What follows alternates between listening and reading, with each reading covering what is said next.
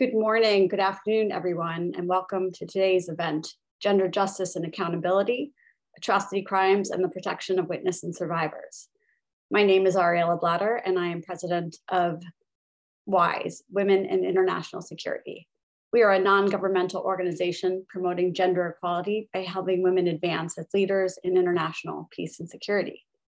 For 35 years, our unique global organization has supported professional growth opportunities for women and led gender equality research projects, policy engagement initiatives, and nurtured a community of powerful security advocates, expert leaders, and mentors. Our network spans nearly 50 countries across six continents and includes 15,000 members who are committed to closing the gender equality gap worldwide.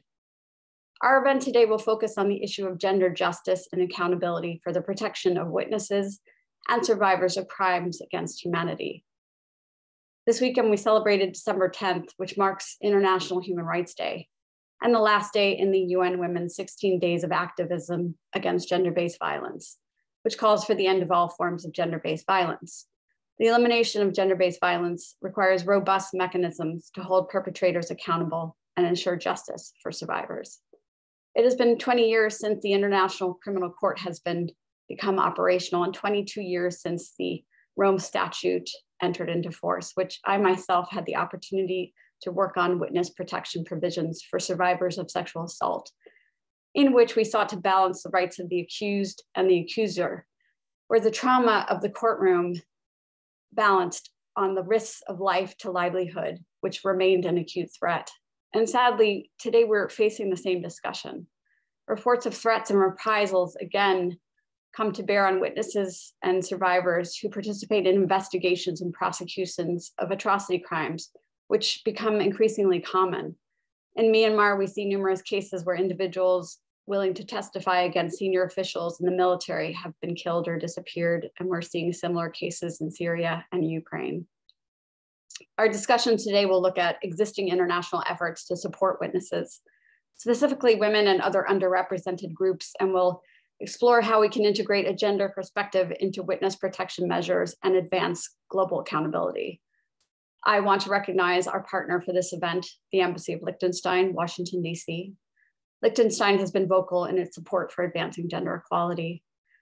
WIIS has enjoyed working alongside the Embassy of Liechtenstein for over six years, and we look forward to our future collaborations. I'm delighted to now welcome and introduce Mr. Georg Sparber, ambassador of the Principality of Liechtenstein to the United States. Prior to becoming appointed ambassador to the United States in 2021, Mr. Sparber held the position of Deputy Permanent Representative Liechtenstein to the United States in New York since January 2017. His portfolio includes disarmament, peace and security, and political issues. I know he is an ardent supporter of international justice. I turn it over to you, Mr. Ambassador, and look forward to hearing your remarks. Well, thank you so much, uh, dear Madam President, dear Ariella, dear panelists and dear participants.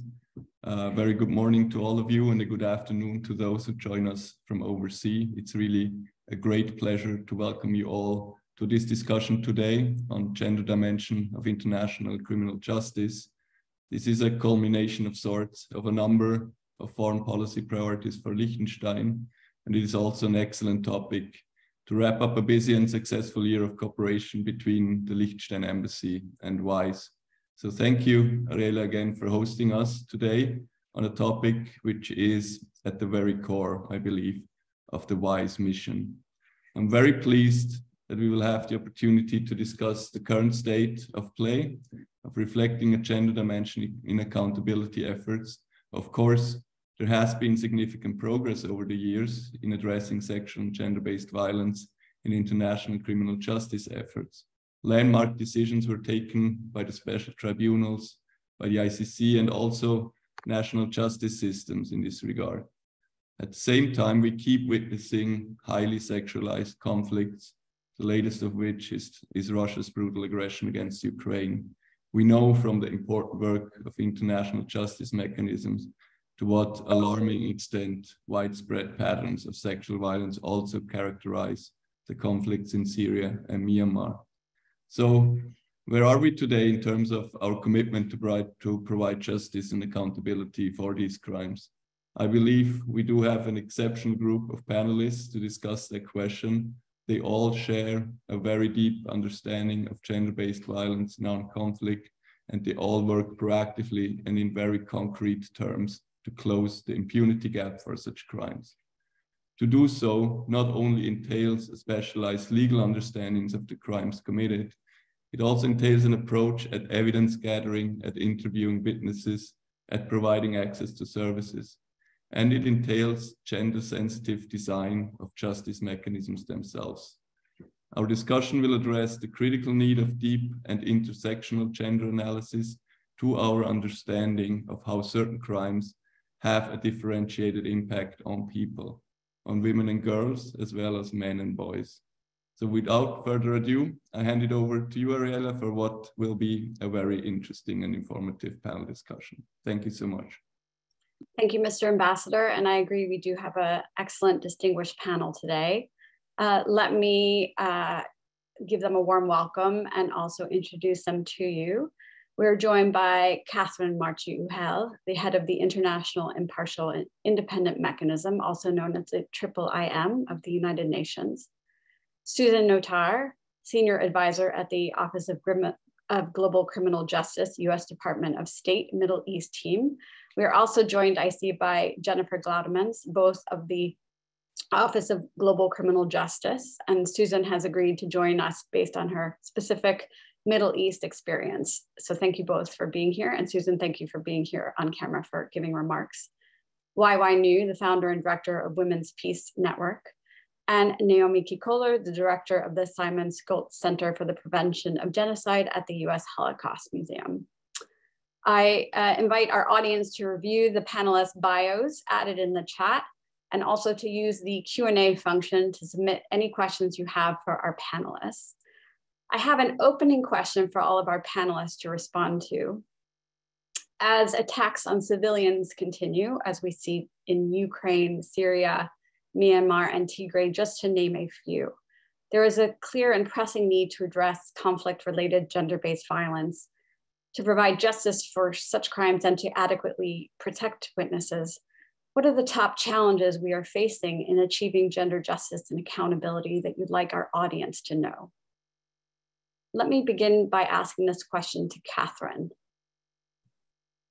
Thank you, Ariella. Uh, thanks a lot uh, to the ambassador for inviting uh, me to, to be part of this uh, very interesting discussion. I'll be very brief on this first question, Ariella, and I'm looking forward, obviously, to, to going into more details in our discussion later on.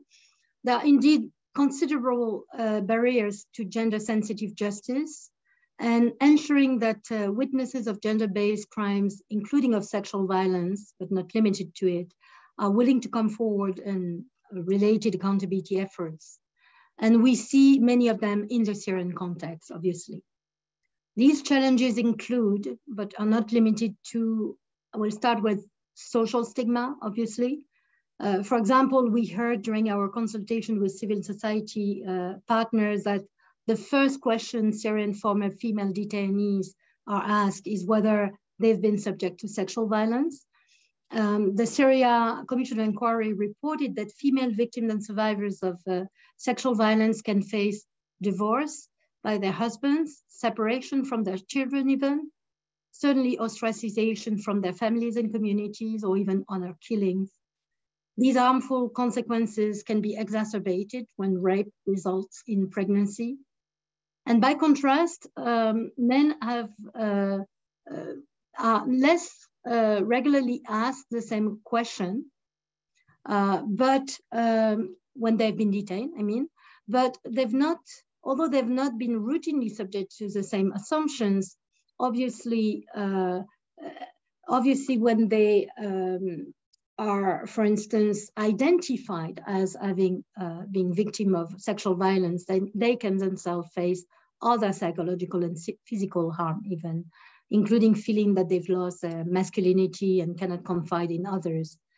And finally, on this, as, as reported by the Secretary General of the United Nations, sexual violence is a primary uh, reason cited by persons of diverse sexual orientations and gender identities for fleeing Syria. So social stigma was clearly the first one that came to mind in terms of barrier.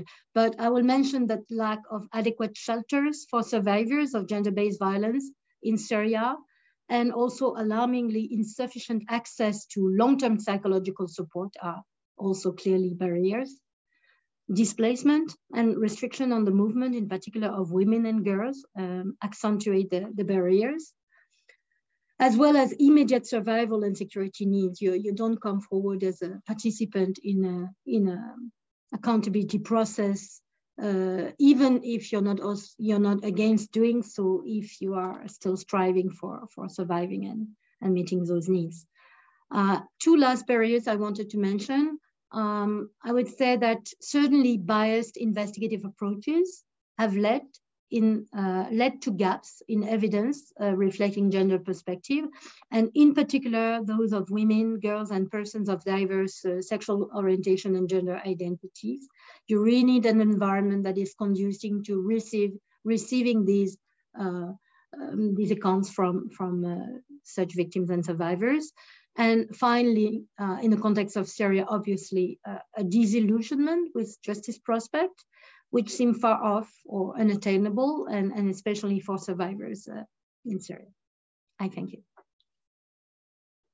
Thank you, Catherine. Thank you for giving us uh, a diverse perspective there on, on both, on multiple gender perspectives. Um, let us have, uh, in order, Susan, Wai Wai, and Naomi follow uh, with responses to the question. Susan. Yeah, and thank you very much for asking me to join you today to discuss this important topic that we all spend quite a bit of time focusing on.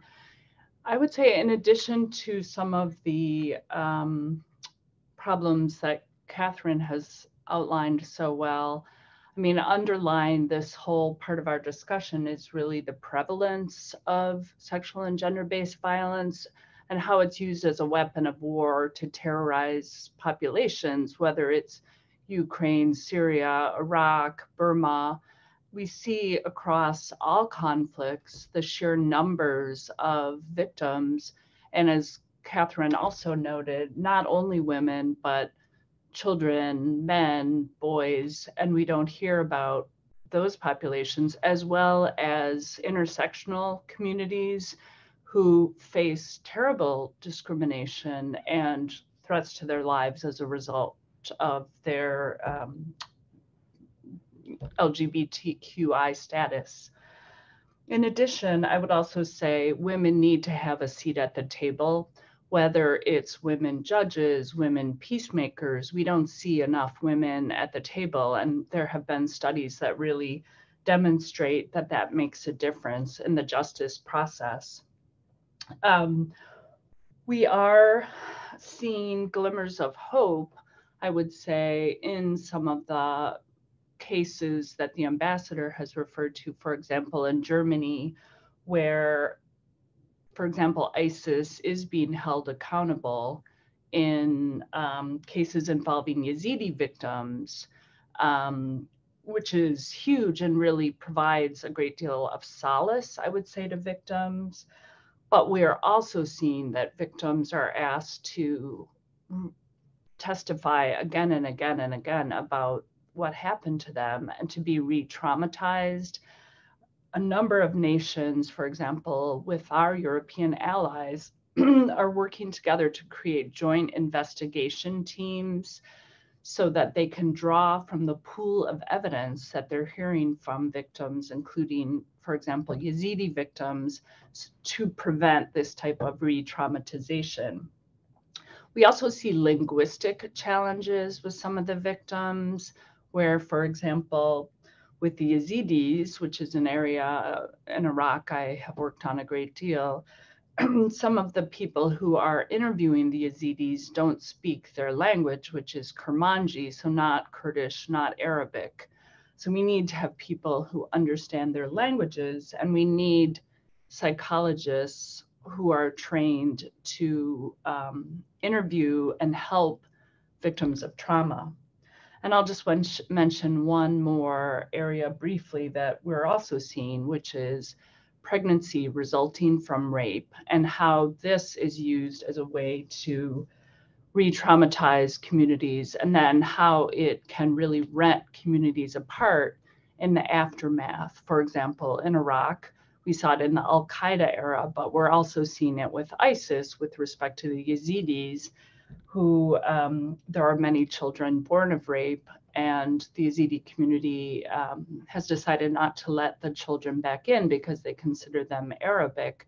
But the problem is now these children have a form of statelessness. Um, so I'll I'll end there.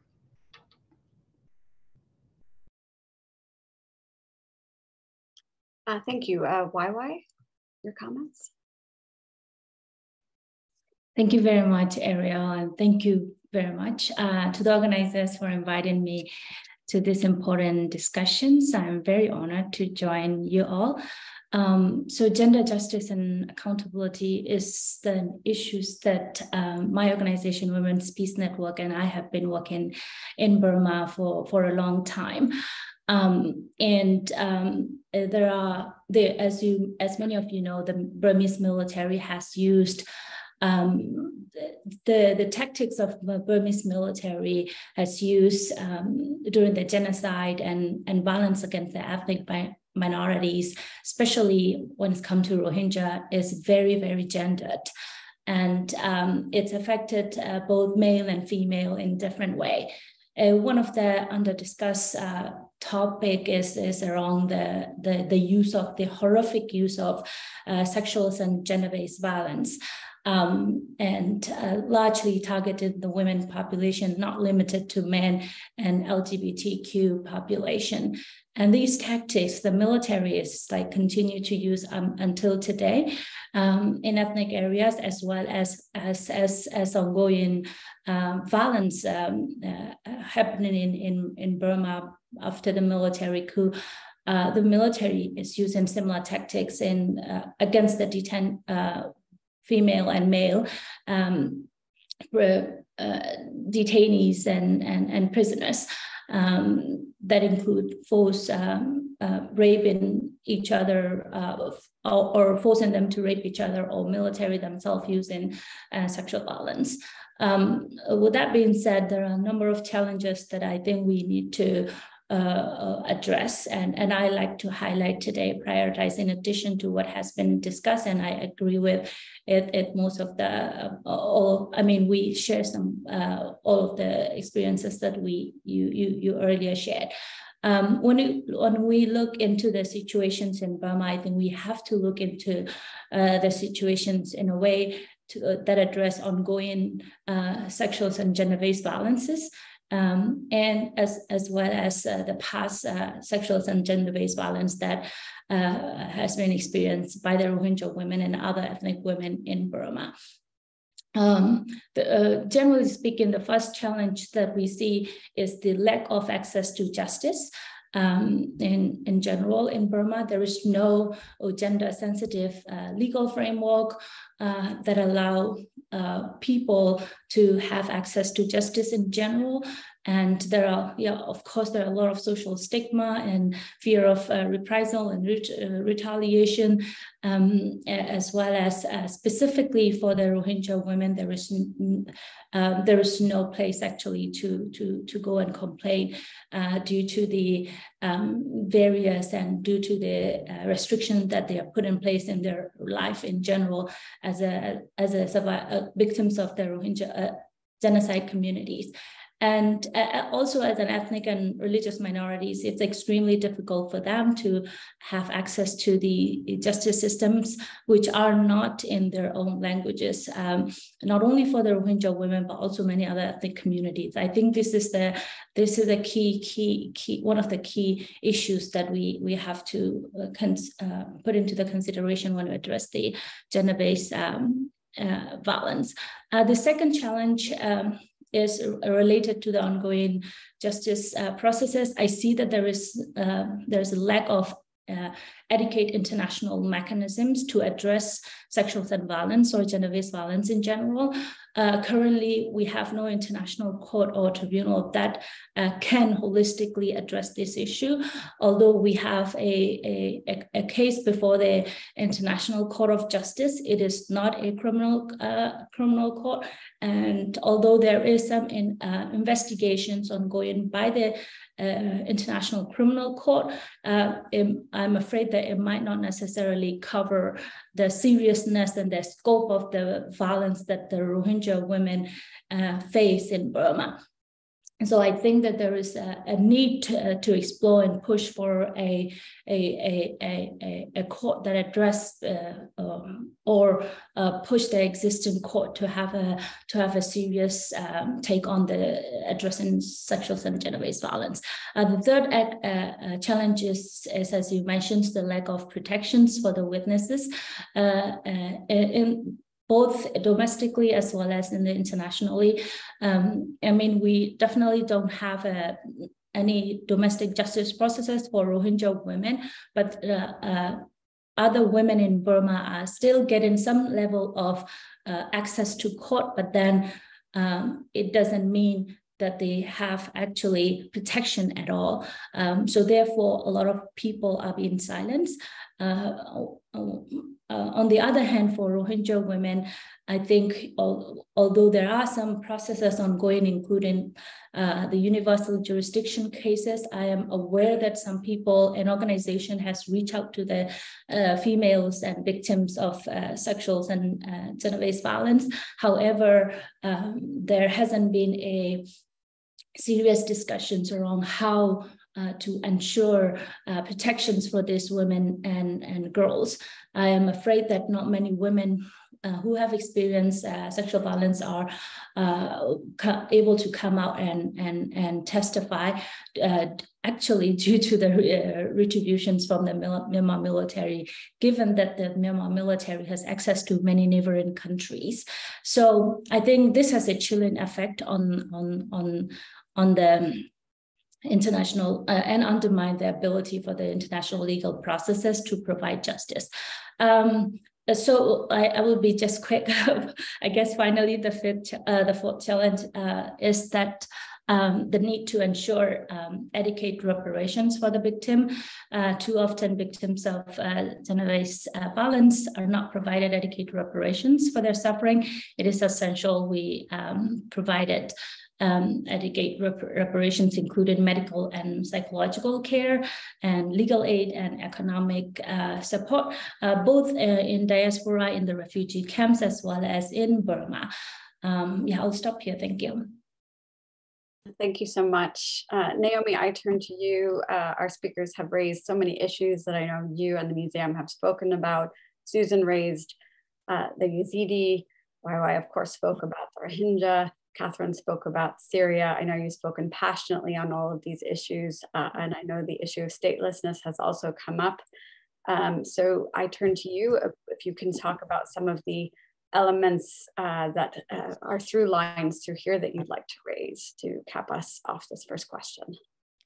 Thank you so much, uh, Ariella and Ambassador Sparber. Um, I very honored to join this conversation. And I wanted to start just by putting it in a bit of historical context as I frame kind of the three areas that we're concerned at about at the museum. Uh, women who were victims and survivors of the Holocaust were considered to have had the same experiences as men. And it took a very long time for us to realize that that was not the case. We often forget that some of the earliest crimes of the Holocaust was the forced sterilization of women deemed to be undesirable due to race, religion, or mental capacity. And when we look at sexual violence, it took decades for survivors and researchers to raise these crimes, often due to the immense societal stigma and trauma that the other speakers have spoken to. And it's worth noting that these types of crimes were not included in the prosecutions at Nuremberg. Today, we know better and we've come quite a long way, but we still have uh, a lot ahead of us in terms of tackling this. History has shown us that gender is often weaponized in war, inspiring horrific crimes aimed at destroying communities. Through the conflict era memoirs and survivor testimonies, we continue to learn more about women's unique experiences during the Holocaust in Rwanda and Bosnia, the genocides of the 1990s, and then now today in Iraq, Syria, China, Ukraine, and Burma. We now understand that women and girls face unique threats, as do men and boys, and have their own distinct protection needs. From our perspective, it's really critical that we provide a gender competent and intersectional legal analysis of the crimes of genocide and crimes against humanity, including to help with a reckoning that's needed around gendered aspects of these crimes and to help ensure that future genocides are more accurately understood than they were in the past. So, just as a starting point, our first key challenge that we see is the need to advance understanding of the gendered nature of the crimes. All too often, women and girls have not had the requisite attention paid towards them as specific victims of genocide. What we need to do is ensure that there is an appropriate focus on genocidal perpetrators, the specific strategies that are used to target women and girls. This often falls into the category of acts that are uh, not necessarily considered mass killing, which is where so much of our attention as an international community goes, including when we're thinking about possible prosecution. What we need to be putting a greater emphasis is on acts of sexual violence, attacks on women and girls' reproductive capacities, either through forced pregnancies, rapes, uh, that are undertaken with the aim of bearing children who do not share the same identity, through restricting births, both undertaken with an intention to destroy a community. These are the types of crimes that we saw unfortunately perpetrated against the Yazidi community, that we see being perpetrated today against the Uyghur community. And we need to understand much more the nature of these types of crimes and look for indications that they are occurring. We also just more broadly need to ensure that conflict related sexual violence is given the appropriate due that is required. And we know there are challenges around data collection and that there are specific strategies that need to be implemented and put in place to ensure that there is the focus that is required on these types of crimes. So, in addition to understanding the gendered lens of why particular crimes are being perpetrated and how they are manifested, we also need to have a more holistic understanding of what justice means from a gendered perspective and ensure that there are appropriate processes in place. And I don't want to repeat many of the things that have already been said, but very briefly, that includes understanding that from the perspective of survivors and victims, justice includes psychosocial support. It includes helping to repair the social fabric of communities that have been attacked. For the Yazidi community, um, as Susan spoke to, that includes addressing issues of honor killings, the disowning of women um, and girls who have had children, finding ways to advance livelihoods. But it also, as Catherine and others have spoken to, ensures that there is a gender sensitive approach to witness protection, which I'm sure we'll talk about later, ensuring that international standards and best practices are used when we're talking about the broader rubrics of what falls under witness protection, seeking informed content, consent, protecting confidentiality, ensuring that documentation efforts do not um, lead to re traumatization. I think we're all very sensitive to the fact that in some ways, efforts around advancing international criminal justice has become, from the perception of survivors and victims, a bit of an extractive industry where there's a lack of regard for the well being and at times safety of survivors and victims.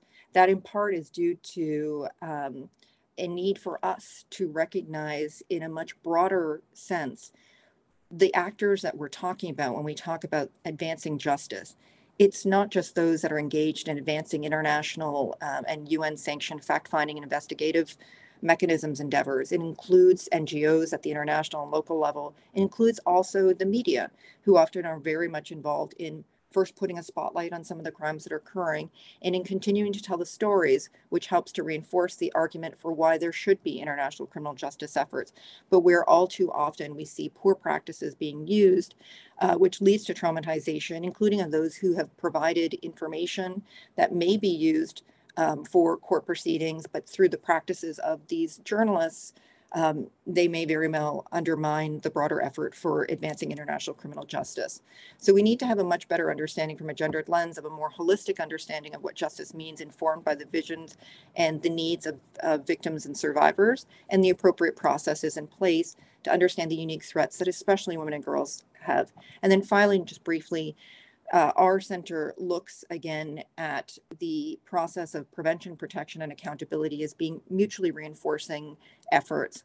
We know that right now, the majority of cases that we have talked about are cases in which the crimes are still ongoing.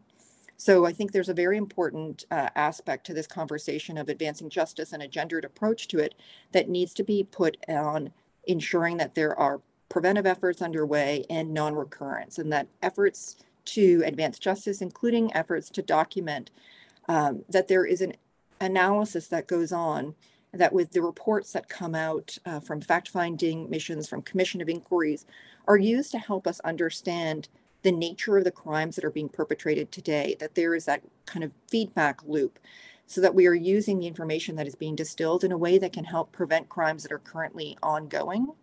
And in doing so, looking again for motives, strategies, tactics being used, working backwards to identify ways to help protect.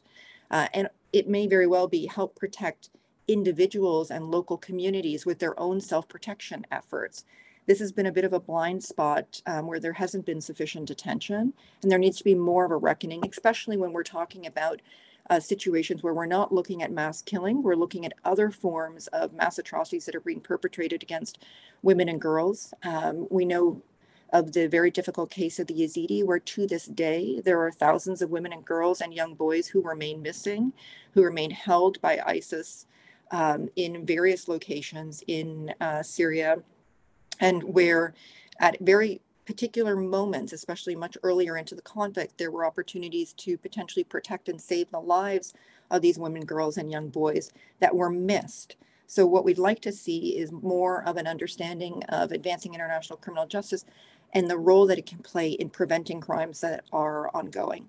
Thank you. Thank you, Naomi. We'll have an opportunity to dive a little bit deeper in your next uh, question and answer. Um, so let me turn, that's a nice segue to turn to Susan. I wanted to ask you a question about the recent steps that the US government has taken toward enhancing international uh, witness protections. Your office has issued a lot of recent statements about uh, policies centering women and underrepresented groups at the center of its policies. Could you elaborate a little bit for our audience about those steps? Sure, and I'll um, I'll focus on some of our efforts first on witness protection, um, and as so as we've all discussed, um, while there are reprisals and attacks to witnesses who are particip participating in both investigations and prosecutions in the international criminal justice sphere, Nonetheless, their testimony uh, and participation remains vital. My ambassador, Ambassador Beth Van Schaack, has taken the protection of witnesses and victim protection of witnesses, victims, and insider witnesses as really one of her core missions uh, during her tenure. Um, so we've held a number of events where we are gathering information and discussion and raising awareness on these issues. For example, on the margins of UNGA, the UN General Assembly meeting this fall, we held an event discussing witness protection, insider witnesses, and victims. And at that event, a gentleman by the name of the Gravedigger spoke of his participation in the landmark Anwar Raslan trial in Germany that resulted in a life sentence for crimes against humanity against a former senior Assad regime official. But as a result of his participation in the investigation and prosecution, he and his fam his wife and son were actually both threatened and physically attacked and are now in hiding. Um, so he participated in the discussion um, via video. Um, at that event, we also announced that the Un United States will be providing an additional $1 million to the independent investigative mechanism for Myanmar to support victim and witness protection for some of the reasons that have been discussed already.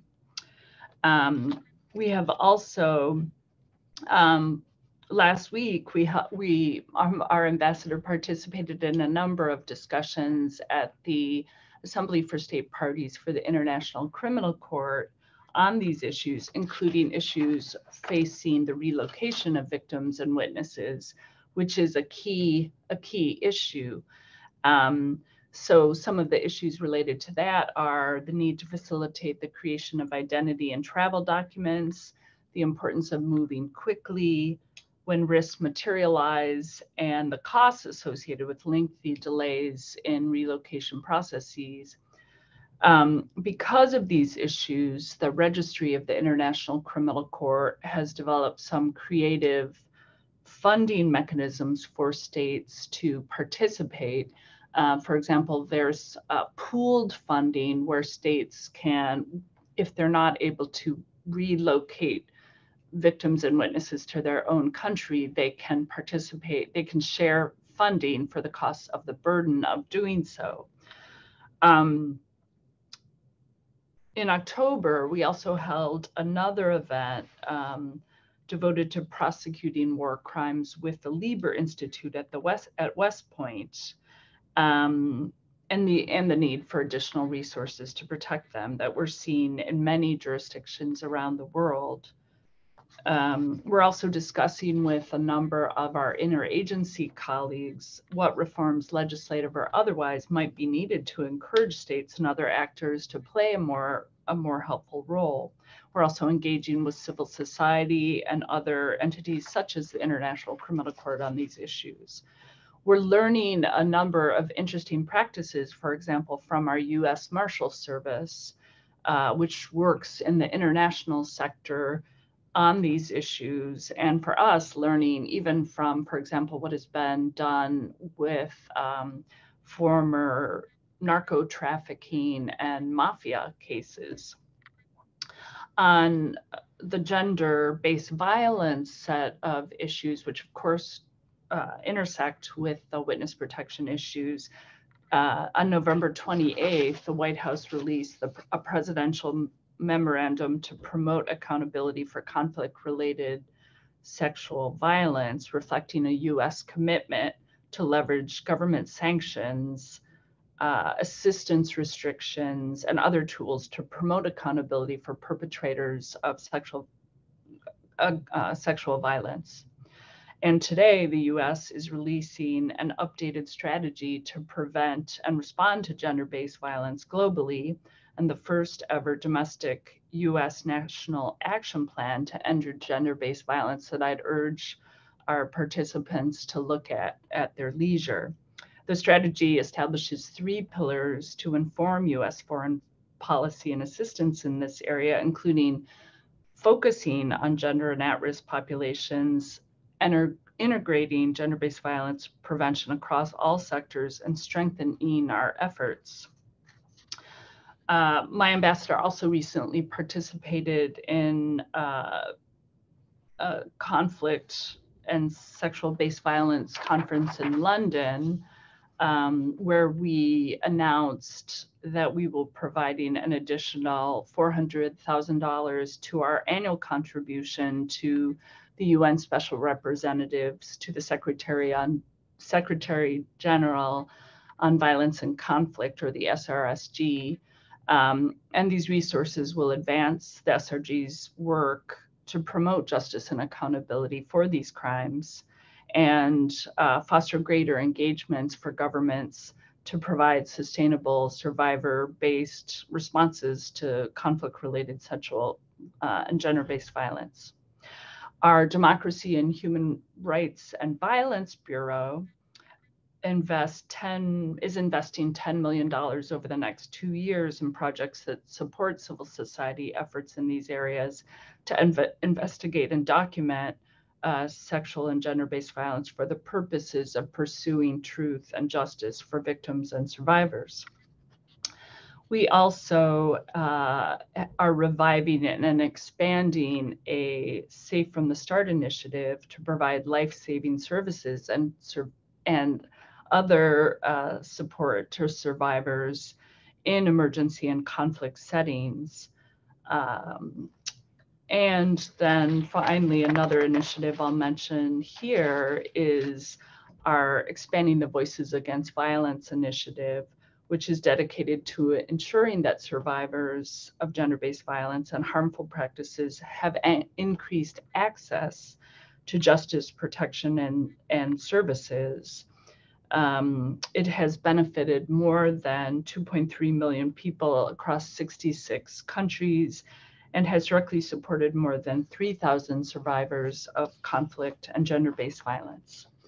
Um, and I will end there and I'll look forward to the rest of our discussion today.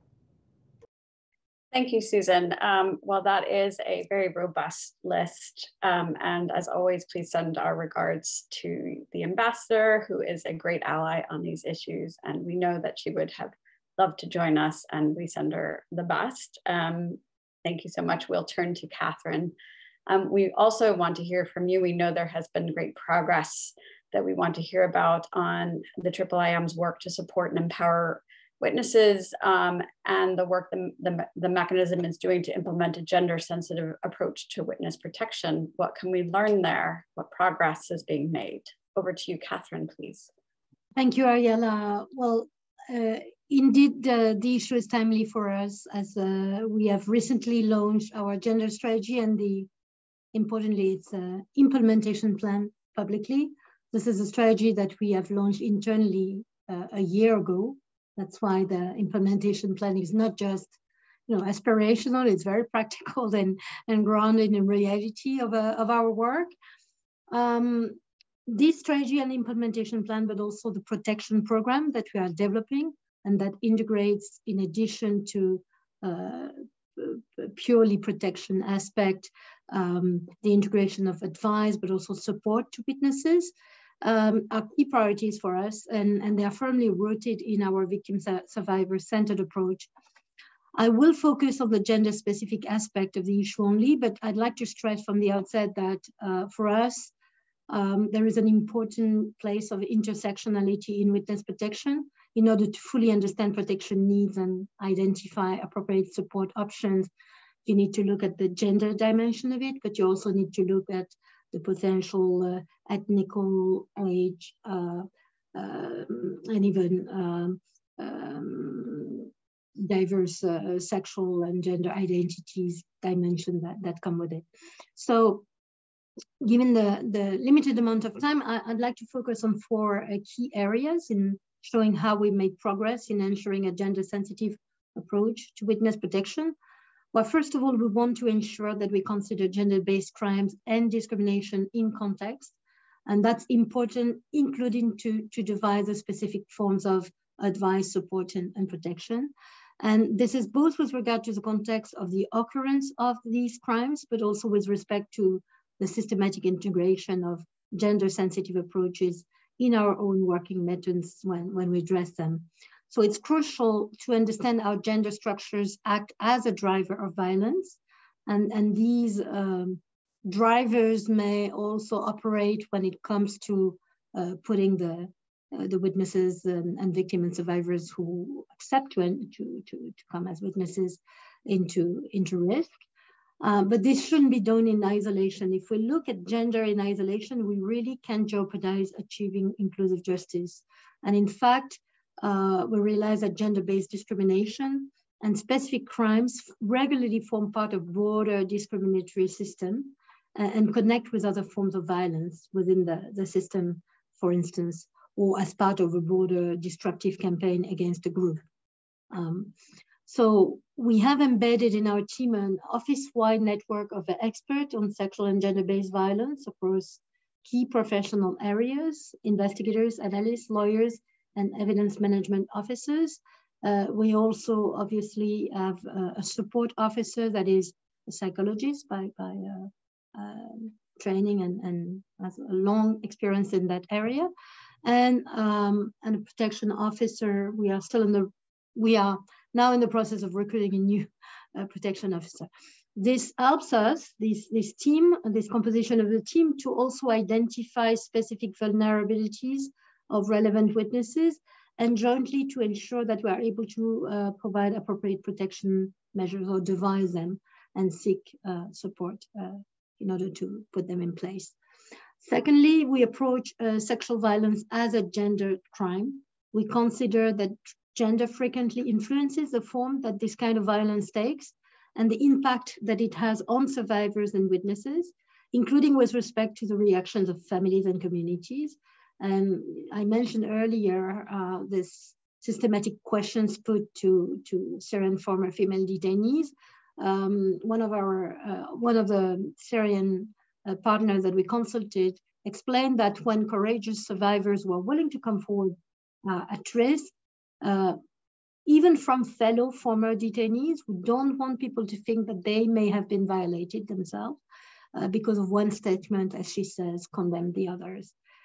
Thirdly, we understand that gender-based violence is not synonymous with sexual violence. We've repeatedly, repeatedly heard in our interactions with victims and survivors that they are primarily as about that, even though not every gender-based violation is sexual. And they have pleaded with us to also reflect on other types of gendered harms uh, that impact them during the armed conflict. Fourth, we have to be proactive in creating the right conditions for victims and survivors of uh, sexual violence and other gender-based violence to come forward and to participate in accountability. As I mentioned, um, it's really important to be able to provide them uh, with uh, guidance as to how they can protect themselves. Uh, and this is an empowering uh, dimension of the protection uh, where they are actors and not just you know, subject to, to and victims. Uh, we also need, uh, of course, to not just identifying referral pathways, but also to be able to uh, to to make sure that they are appropriate and, and of quality. So this is a sensitive area where you, you need really to, to engage with partners. Um, and as I said in my introduction, and it's unfortunately not um, that there is a lack of such uh, support for, for Syrian victims. Um, I'm just trying to make sure I'm not uh, forgetting something important. Uh, yes, uh, the during the interview process, obviously, uh, uh, doing no harm, avoiding to re-traumatize uh, victims and survivors that are interviewed. At the same time, um, uh, equipping the investigators with the tools to recognize that uh, someone is going to need particular support, making systematic assessment of uh, the risk and the vulnerability, not assuming that, for instance, a professional witness is going to be strong by nature. Uh, an historian, a doctor may be at risk, specific risk, if you're not assessing that it's not going to work, and not assuming that a victim of, for instance, sexual violence is by nature going to be vulnerable. Uh, some of them are stronger because they have uh, support in their family, for instance, a, a supporting husband, or they've gone through um, psychological support. So again, no assumption, but, but rather uh, um, a professional uh, approach. Um, as explained during one of the Triple M's consultation, uh, Jumana uh, Saif, a Syrian co-founder of the Syrian Feminist Lobby, who was recently awarded the to uh, 2023 Anne Klein Women's Award for Work uh, has told us that the patriarchal mentality that dominates the Syrian society in is really a change. In 2011, 20, and 2012, this mentality played an important role, according to her, in keeping crimes from being documented, especially crimes of sexual violence. Some documenters declined to document these crimes for reputational reasons, Sexual crimes continue to provoke a huge reaction, even for women who are willing to enter into uh, uh, international process prosecution and acknowledge the discrimination that they faced. They don't want to say it in public and to avoid to provoke a, a reaction. And they continue to face reprisals from the Syrian regime against their family who are still in Syria. This is why I think we have to work. I'm going to end uh, with that because I know we have more speakers and, and probably questions. Uh, we have to work collectively on finding solutions to these barriers that I, I was mentioning at the beginning. And we increasingly work in collaboration with Victim Survivors Association and other uh, CSOs and accountability uh, actors to proactively address these significant barriers. We know that justice is important to victims and survivors, uh, but we have to create the right conditions to maximize those chances that they will come forward and, and will do so safely. Thank you. thank you so much, Catherine. Um, and congratulations again on moving into the implementation phase. Um, I want to move on to uh, Naomi to talk about uh, something happening in the present moment and to, to uh, reiterate what you were beginning to talk about in terms of documentation uh, engagement. Um, I know we are moving into brief territory with remarks and I appreciate your uh, ability to be short, um, but can you talk to us about the documentation efforts that you are um, seeing and, and um, respond to the, the challenge of identifying and protecting witnesses uh, to crimes and abuses while uh, war rages on, and uh, and to the question of whether you feel the Ukraine war has changed the debate about mechanisms for global justice and accountability for war crimes. Thanks so much, Ariella, for that question. And I think it's something that's front of mind for a lot of people right now.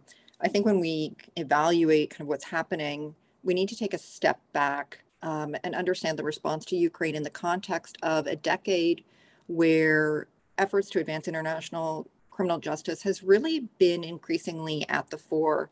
And I think one could arguably say that that began with Iraq and the crimes perpetrated by ISIS, um, was enhanced by the various efforts that have been underway, led by Catherine and, and so many in the context of Syria. And then also the experience of the Rohingya in Burma, where again, conversations about how to advance international criminal justice, how to explore the potential for cases in third party countries, um, where a lot of innovation in those three instances has brought us to the moment where, in the context of Ukraine, there's been really significant attention, but also action. Now, one could arguably say that that is also the result of a reckoning that's been taken by uh, various aspects of the international community in regards to the challenge of prevention and a sense that uh, there are a number of challenges and roadblocks to advancing prevention, therefore heightening the focus on former international criminal justice efforts afterwards. Whether or not it will bear fruit insofar as lead to successful prosecutions, it's really hard to say at this particular stage. We have had some successes. Um, Susan spoke about the Raslan case. There have been other cases that have um, resulted in uh, verdicts um, and individuals being charged.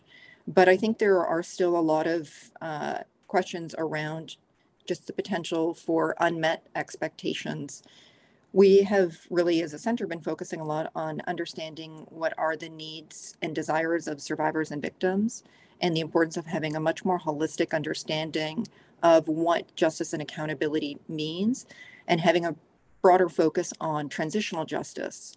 Uh, in that regard, I do think we've made significant strides when it comes to helping to set a historical record, countering denial, and including um, ensuring that there is a increase, increasing uh, appropriate focus on the gendered nature of the crimes. And I think Catherine talked about some of the changes in process and the efforts that are currently underway um, that she and her team are taking forward in the context of the Syria mechanisms. Uh, we do know that there is a lot of uh, international political will in the context of Ukraine and are hopeful that this helps set and defines a new agenda, one that puts a priority on support at the international, regional, and critically kind of localization of justice and accountability efforts that are informed by transitional justice principles. In the context of Ukraine and documentation, this is definitely a situation where one cannot argue that there is not enough documentation. Um, if anything, we're seeing a proliferation of organizations and entities that are currently undertaking documentation efforts, um, notably led by civil society, including local civil society. There are some attributes that are quite unique in the Ukrainian context, and that is the fact that you have a functioning uh, judiciary and functioning um, justice system whereby the state itself is able to undertake a lot of this work. But alongside the efforts that are being taken by the state, um, you just see a wide array of local civil society, international NGOs, uh, international entities, fact finding mission, commission of inquiry, and others that are currently doing documentation. We know that there is an increased focus on uh, investigating and documenting uh, sexual violence against women and men. We understand that there is also a gendered understanding of the targeting, especially of men um, who've got real and perceived um, allegiances to the Ukrainian military who served in the past. We also understand that there is quite a lot of focus and uh, an effort to understand more the reports of children being transferred from their families um, away and uh, into parts of Russia and adoption. Uh, that in and of itself shows that there is an increased understanding and reckoning again of that gendered nature of the crimes. So that is a positive that we see more of an emphasis on looking at patterns, motives, strategies, and tactics. I'd say that even in the context of journalists that are covering these issues, um, thanks to the efforts of, of many, there's an improved um, understanding by them of the nature of the crimes, a greater effort to ensure that what they're reporting on is accurate and the way they are talking about these issues is accurate, uh, and that there has been some adoption of some best practices by journalists that are in the field in part because of the failures in the context of Iraq and Burma and an effort to want to learn lessons from those contexts. One of the other things that we think is positive is that there's been a greater effort to try to coordinate the documentation efforts. But as the prosecutor himself has said, the Ukrainian prosecutor general, they are very, very wary of the proliferation of different actors that are undertaking documentation because of the challenges that each of us have spoken to around the risks uh, that exist and arise when you see uh, documentation being taken uh, by many individuals and organizations, often not in accordance with international best standards. Much of the documentation may not be able to be used. It's also very hard to filter through and determine what um, is actually going to be uh, of use for future cases and prosecutions. But I think the biggest challenge is really around witness protection. So maybe just a quick um, kind of thought in that regard one of the things that we talk a lot about as a center is the importance of managing expectations, managing the expectations of the affected communities so that they understand that the path to justice is a long one and that they also understand that uh, prosecutions, which is what there's often such an, an emphasis on, is often hard to see to a kind of, from their perspective, successful fruition, i.e., that someone is charged um, and convicted uh, and then sentenced. So we need to really make sure that we're being careful when we talk about what is possible in the context of uh, Ukraine, as in, in all other instances, but also that we're placing an emphasis, especially on a couple of few areas. When we talk about uh, witness protection, we're talking about the security of information and confidentiality. We need to recognize that many of the organizations functioning right now in Ukraine do not necessarily have staff that are dedicated to uh, looking at those particular issues, looking at the live threats that witnesses face, uh, face. They are operating as most should under the principles of do no harm, but not necessarily because the, the the events are unfolding so quickly and these documentation efforts are being stood up quite quickly with always the adequate processes uh, that they need to have in hand, including to ensure that there isn't re-traumatization of victims. Um, also with the informed consent, ensuring that everyone understands why they're being interviewed, who they're being interviewed by, how the testimony that they're going to provide um, is going to be used, and whether or not that information will be shared with others, including the International Criminal Court. It's really critical that there be confidentiality at all stages and a security of the information that is being gathered ensuring that there are certain protocols that are being taken place, that um, people's names are uh, and certain things that they say are being protected, that there are databases in place to collect and hold information in an encrypted manner. Uh, there's varying degrees of adherence so sorry to, to interrupt you. I just have to uh, interrupt to excuse um, uh, Catherine Marchi-Uhel, who has to leave at the top of the hour, as I'm sure others do. Um, thank you so much, Catherine. I appreciate it. I'm very sorry for, for interrupting. Thank, Thank you. you. so much. That's okay. Thank you, Catherine. And thank, thank you. you. for all your efforts and you and your team. Naomi, um, may I ask something a little bit unorthodox here? Yeah. May I ask you if we could, um, if, if I could ask you to absolutely finish the sentence? I'm so sorry. She did have to leave immediately.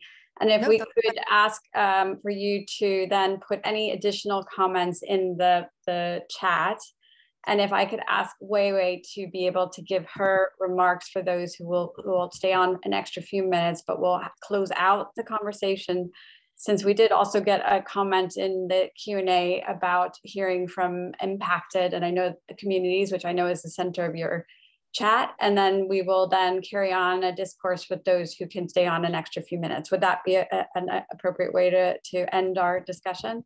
Can we do that? So yes, I'll let finish the sentence and then we'll turn to Wai Wai for her extra three minutes on the conversation. Does that sound fair?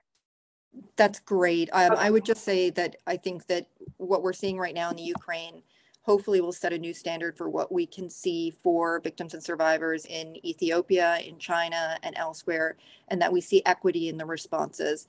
It has been positive to see the United States assert their support for the International Criminal Court and a real um, alliance amongst Republicans and Democrats in favor of international criminal justice. And we hope that that is sustained going forward with the needs of victims and survivors at the fore. Thanks, Ariella. Thank you so much, Naomi my plan is to now ask Wai Wai to um, speak to us. Um, I'm going to weave in also uh, two audience questions. Wai Wai, um, we know that your activism comes from your lived experience. Um, we would like to know, as a closing comment, about how civil societies and your own experiences to those that you can share can play a bridging role between um, when the state is not uh, playing an effective role and uh, where it, you, we can support survivors and um, uh, uh in coming forward to um, share their stories so that we can uh, receive justice and accountability. Um, can you talk a little bit also about the role that digital source information has had on uh, the protection efforts. Um, so what I'm doing is weaving two questions on is just about how your civil society and your own experiences bear to play and what we've spoken about today, and also to understand a little bit about how the digital uh, open source information has also bared positive and negative experiences in, in this um, in this discussion today. So if you can close us out on those two thoughts, and then we will continue Naomi, if you want to bring in other thoughts. And since this is a rich discussion, Ambassador, I think what we'll do is also look forward to seeing if we can put on a, uh, a second discussion to continue this rich discourse. Thank you. Thank you, Ariella. I just want to be very honest today. Last night, I received a video of uh, of a gang rape of uh, Rohingya women who was um, trying to flee from Rakhine and um, it was horrific and brutal. And uh, basically, I couldn't sleep the entire night. Um, the person who sent me said, "Don't watch," but I couldn't uh, watch it, and I couldn't sleep the entire night. It was horrific. And I just want to say that this is uh, the result of the failure of ending impunity for the perpetrators of these crimes. And and lack of political will to address the, the, the, the suffering of the communities and group. Uh, sorry, I just can't forget this video. And um, so I just want to bring that these crimes are ongoing and the communities are continue to suffer in many levels. The impact is so high because of the lack of uh, uh, political will and and um, lack of justice and accountability, they, they, the, the community continue to be vulnerable until today, not only by the main perpetrators, the military, but also by other actors. So, so that is something that is what happening in Burma. At the same time, the military continue to commit this sexual and gender-based violence, as I mentioned earlier, and there is not enough uh, we talk about, you know, policies, funding, donations, all of this. But in practice, people in Burma, women in Burma, women and men in Burma are somehow ignored and their sufferings are somehow ignored. There is not, no, not enough support on the ground. And civil society has very limited um, access to the, uh, the, to, the, to the area or very limited um, uh, very limited environment to really function or to do anything on the ground. Yet it, it is the local civil society organizations, including us trying to help the women in detentions, women who are, uh, who became victims and survivors of sexual violence um, in different uh, locations um, uh, under the ongoing violence uh, by, by the military or the, by the other actors. Um, so yeah, when you asked about the role of uh, civil society, I think it is the local civil society organizations playing a key role uh, by being the first uh, responders and doing everything they can within the limited capacity and limited uh, access and environment. And I think there is a, a, a you know, um, a, a there is a huge need to equip these people, groups and organizations, especially women's organizations, uh, to be able to do their work and or to be able to scale up their work so that we can practically protect uh, the survivors on the ground unless we put enough effort to uh, uh to channel resources to the ground uh, um, in ongoing conflict area. We might not be um, able to protect uh, or prevent any of these crimes and and um, we'll end up seeing more victims Wait, wait, I'm, so sorry. sorry. I become very emotional thinking about this video. Well, I'm I'm I'm honored that you shared with us, but I'm terrified on your behalf that you had to witness and that your colleagues continue to witness uh, this. Um, we have a many many more things to discuss about this, and uh, I now wonder if we had started the discussion with this, where we would be at the end of the discussion. So let us carry on the conversation in different ways as you're comfortable. It is a good place to end because you've shared something that I don't know even if you're comfortable with. So let's honor the space and not re traumatize where you are at. Um, and just say that I think you've demonstrated exactly where we wanted to be at, which is we have so much to talk about here and so much to discuss but to support you and to support everyone. We are no different from where we were in 1998. We're no different from where we were in 1946, and that we have so much to work to do to support together. And I think this is very much a community that needs to come together to discuss the financial, the political, the uh, support of civil society and the individual level. So let us leave there to say that the work is strong, but there is so much that needs to be done.